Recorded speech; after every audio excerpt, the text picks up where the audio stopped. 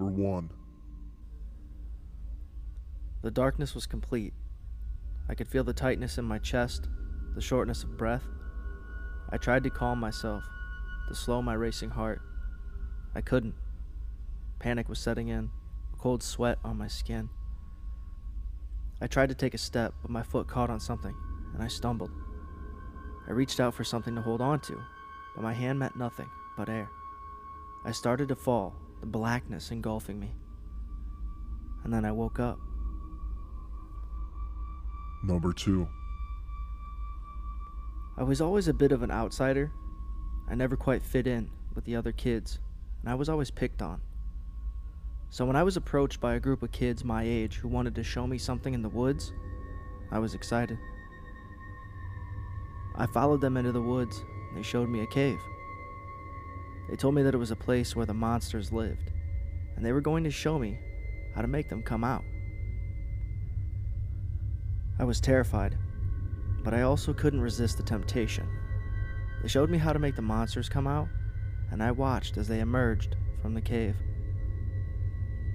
But the monsters weren't what I expected. They were my classmates dressed up in monster costumes. They'd been playing a trick on me, and I was the only one who had fallen for it. Number 3. I always loved reading Stephen King novels, but I never realized how scary they could be until I read them myself.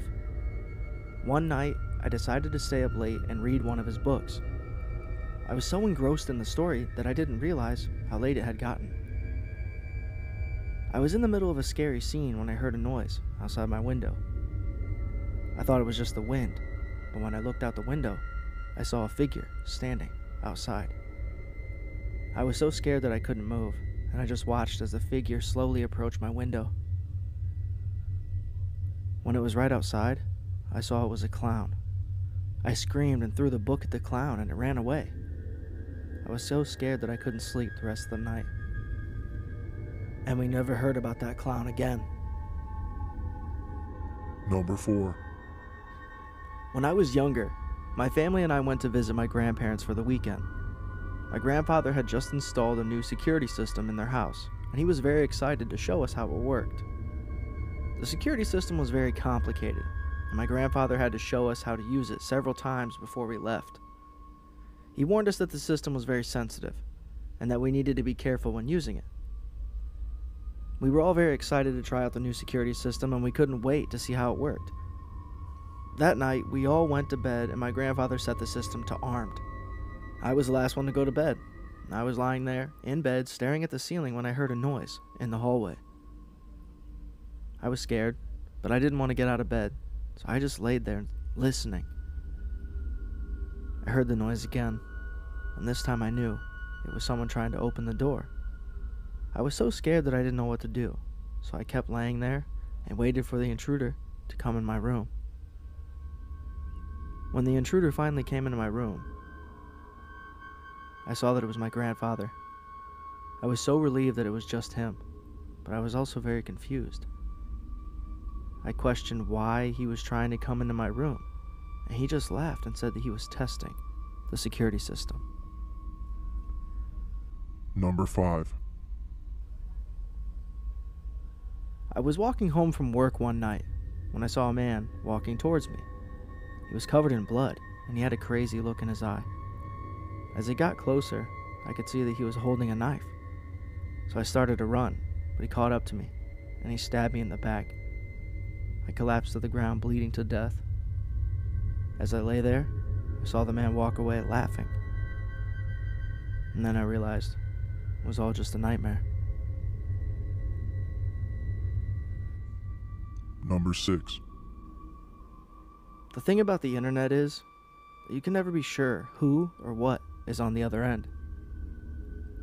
You could be chatting with your friend, or you could be talking to a serial killer. I learned this the hard way. I was on my computer chatting with my friends when I received a message from an unknown person. The message was just a link, so I clicked on it. And as soon as I did, I regretted it. The link brought me to a website that showed a live video of a woman being tortured. She was tied to a chair, and a man was cutting her with a knife. I couldn't believe what I was seeing. I wanted to look away, but I couldn't. I was glued to the screen, watching in horror as the woman screamed and bled. The man then took the knife and cut her throat. I screamed, and then I fainted. When I woke up, I was in my own bed. I had no idea how I got there.